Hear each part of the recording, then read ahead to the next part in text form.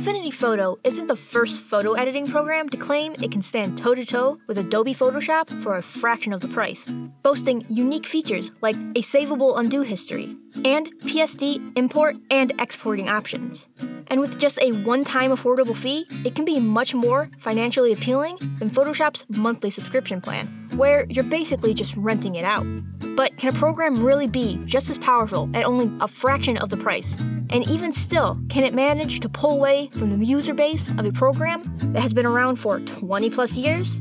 Well, I think maybe so, and I have eight reasons that might just convince you as well. I'm Abbey Esparza with Envato Tuts Plus. Let's get right into it. But first, all of the images we'll be using today can be found and downloaded on EnvatoElements.com. Envato Elements is my go-to place for stock photos, fonts, graphics, and even music and sound effects. It's your one-stop shop for creative assets made by and for creative people. All of today's resources can be found in the description below.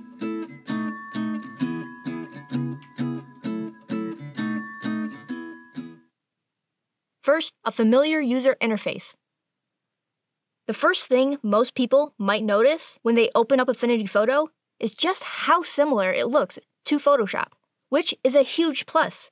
Affinity Photo decided to streamline and improve what we already have and know instead of trying to reinvent the wheel, which would force you to start straight from scratch. You will see similar features like a choice of light and dark UI, customizable toolbars and tabs, and a massive library of fully customizable keyboard shortcuts.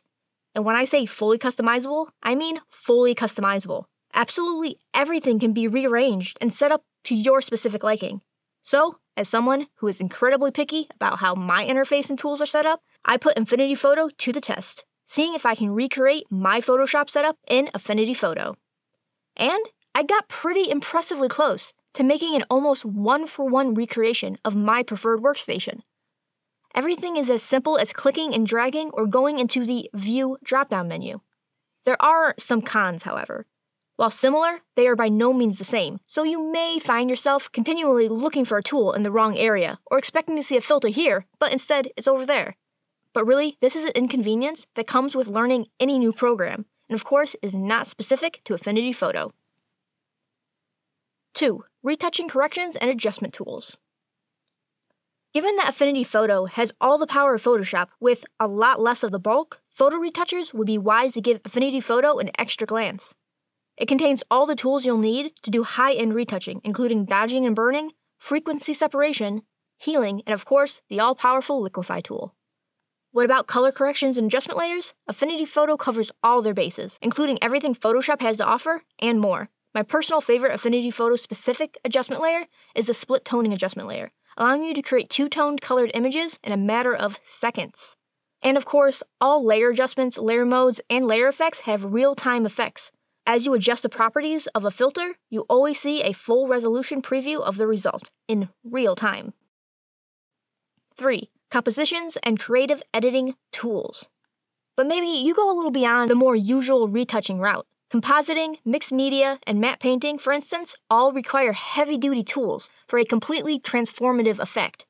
And I am pleased to say Affinity Photo has you covered as well. As I mentioned earlier, Affinity Photo provides an impressive library of adjustment layers, layer effects, and live filter layers. And of course, all of these can be grouped, clipped, masked, or blended together to enable the creation of incredibly complex image composites.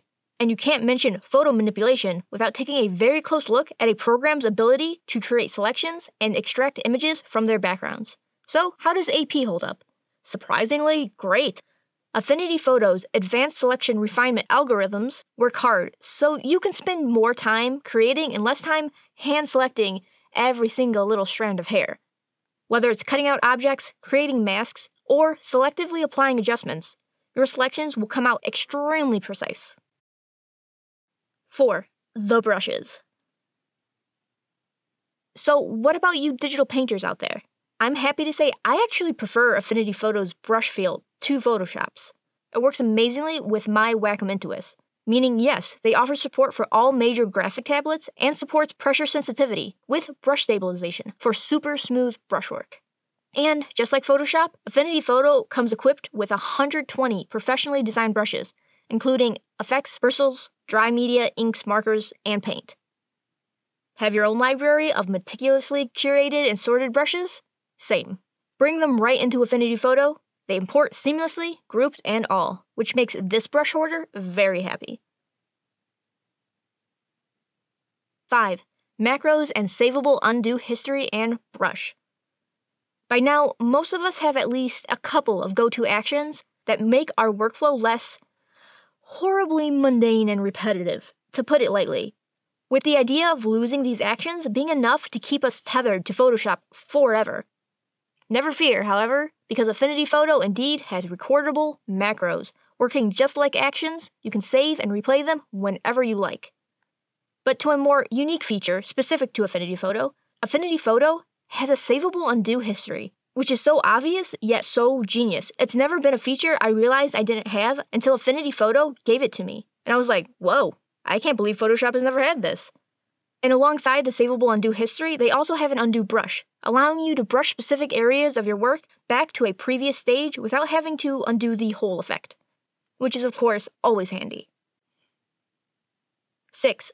Dedicated RAW workspace Editing your photos in Camera Raw is the first step for almost any photographer, retoucher, or compositor. So, you will all be happy to hear that Affinity Photo indeed does have a dedicated workspace with all the adjustments and corrections you need. It also supports both EXIF and metadata, keeping all information intact.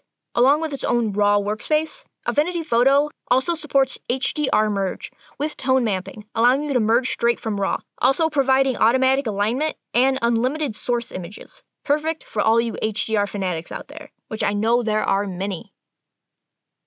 7. Cross platform and mobile. Affinity Photo is available for both Windows and Mac iOS, as to be expected, but is still appreciated.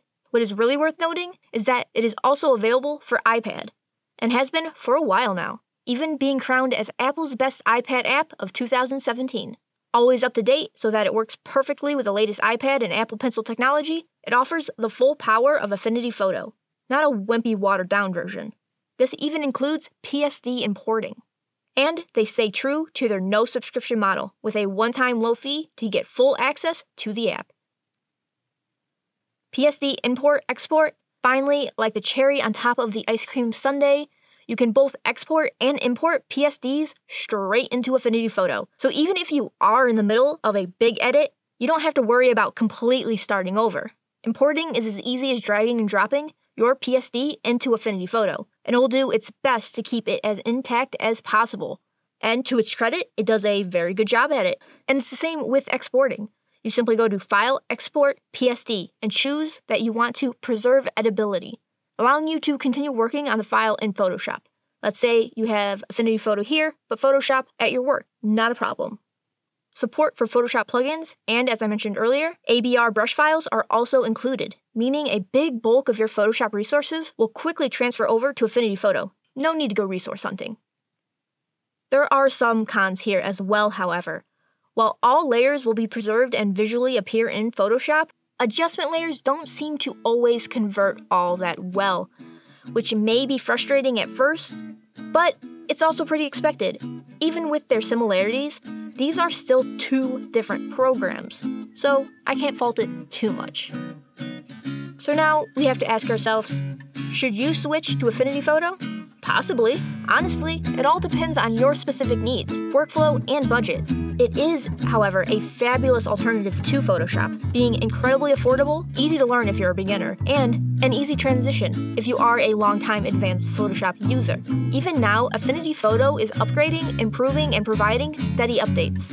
There's no reason to think that one day Affinity Photo might just be the next industry standard. And considering I did happen to notice a few of the changes in Photoshop's big 2019 update happened to be features Affinity Photo was offering first and already, I have a feeling Photoshop just may have taken notice of that potential as well. Let me know what you think of Affinity Photo's potential, and the future of photo editing down in the comments below. Do you think Affinity Photo is ready to take on Photoshop? If you like this video and would like to see more, go ahead and hit that like button and subscribe if you haven't already. Don't forget, click the little bell to be notified of any new exciting videos. If you're looking to learn even more, why not check out some of the other wonderful tutorials that Tuts Plus has to offer. I'm Abbey Esparza. See you next time.